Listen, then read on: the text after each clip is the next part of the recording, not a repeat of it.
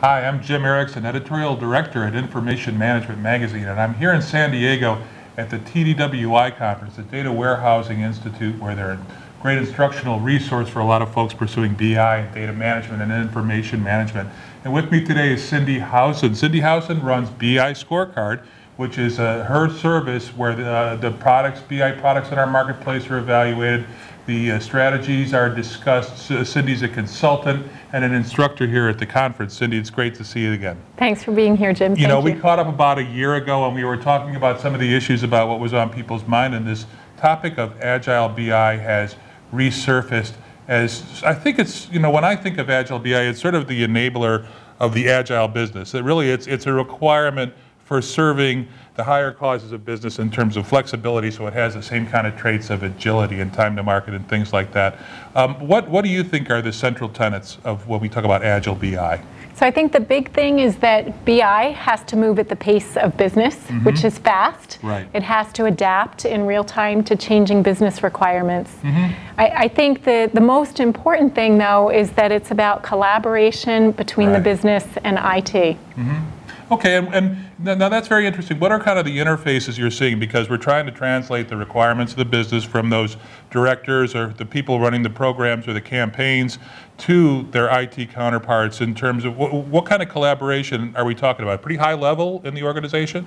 Uh, well, I think both. The interesting thing to me about Agile BI is uh, four years ago, I had never even heard of the term, and now mm-hmm. just four years later, we're running a conference themed on Agile. Right. BI. And the way I stumbled across it was in researching these best practice award winners oh, okay. for my book. Mm-hmm. A common theme is that they were all using agile development techniques. Okay. And it was about the way they captured requirements. So if you think about traditional development, it's the business writes a very long documentation right. of their requirements. Right. You throw it over the wall three, six, nine exactly. months later, maybe exactly. you'll come back with something sure. useful.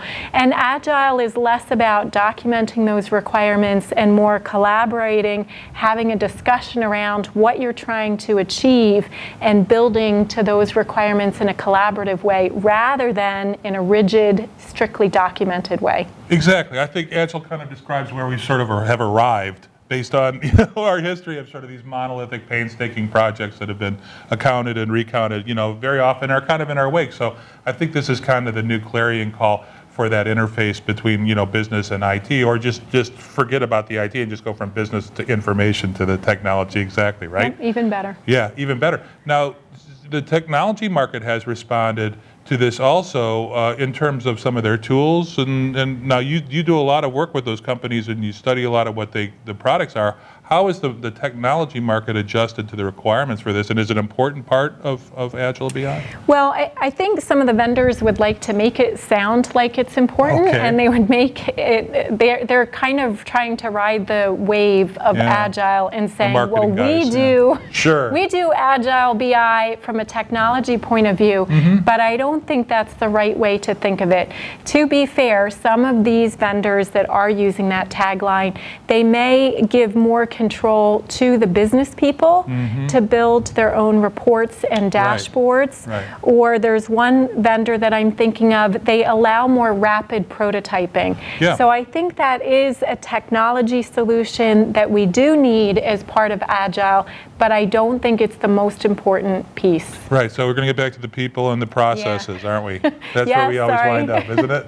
Okay, well, so now the, the idea of agile in IT traditionally, does that translate to the business idea of agility directly, or is it just sort of an apples and oranges kind of way of achieving that point? We talk about rapid iteration and, and the ability to adjust scale, and the ability to adjust scope, and, and, and constantly revisit, reiterate, and not get lost in various compartments of activity, right? Yes, but the constantly revisit, I think, is where IT is a little bit afraid of Agile because they think it's never ending and a moving target and that's not what it should be. You still have your requirements, but it's less rigidly defined, and it's mm. more you capture the requirements requirements collaboratively, sometimes working side by side. So I'm thinking of one very successful company, um, a, a, BI uh, Best Practices Award winner this year, mm-hmm. where they did not have their business users document their requirements. Instead, they, the IT developers sat down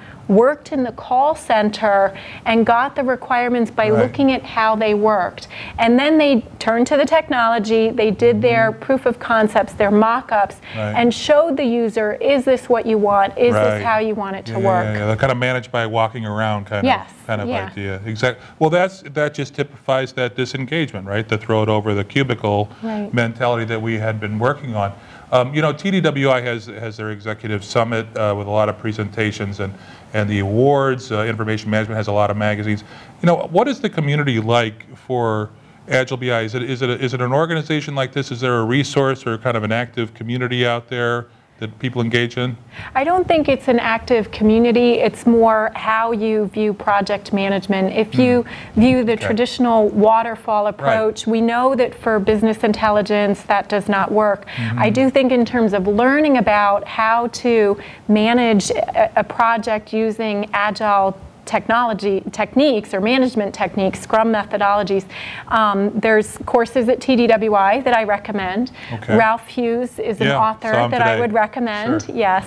Um, so I think there are different places you can learn more about um, Agile. And I know the folks, uh, uh, Paul at, at TDWI, they're sort of they're sort of looking at agile from a variety of perspectives. They're talking about agile in, in, in the concepts, uh, context of the analytics and in terms of the infrastructure, the organizational kind of elements. So you're sort of taking sort of a, a, common philosophy or mentality. And I think it's just, it's also just sort of opening the doors to other ideas of, of other ways to get at BI.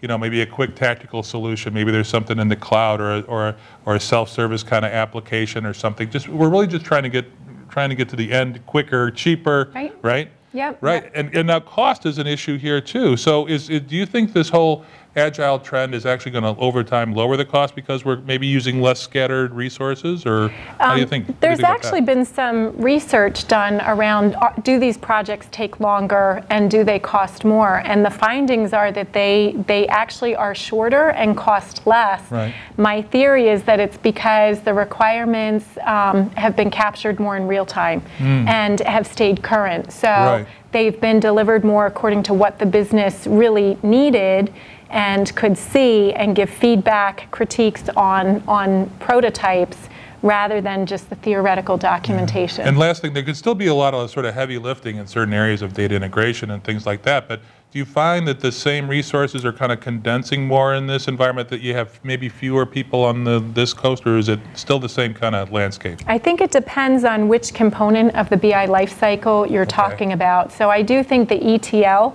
part is probably more systematic. I think mm-hmm. the closer you get to the business, the closer you get to the business users, that's where you need it more agile. So there was an example with Continental Airlines um, and JetBlue when this issue of long delays on the tarmac were no longer tolerated.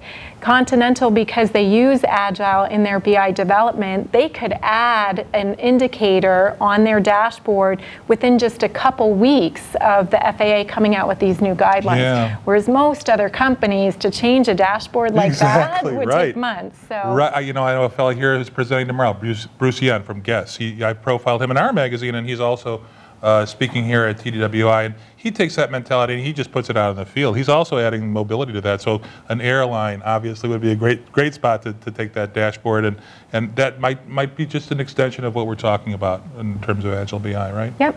Okay, great. Well, great advice uh, from a great resource and consultant and author and instructor at TDWI, Cindy Howson. Uh, BI Scorecard, you can find her on the web at biscorecard.com. Yes. Exactly, great. I'm Jim Ericson with Information Management Magazine. Thanks very much. Have a great day.